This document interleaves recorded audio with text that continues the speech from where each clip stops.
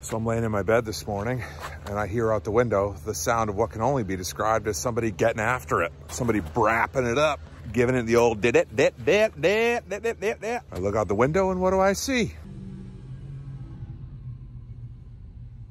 Now in this instance, as a neighbor, you have a couple choices. You can Karen it up, call the cops, stop the fun, but why would you do that?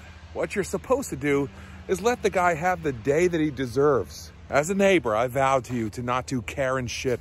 If you got enough property to on a dirt bike or a snowmobile or a SpaceX, I don't care. He's a landscaper. He's works all summer long in the heat. He works his ass off. If that dude wants to go over there and I'm to support him. I'm to bring him a hot cocoa. You got to have fun, man. Don't do Karen shit to your neighbors. Let them have fun. See that?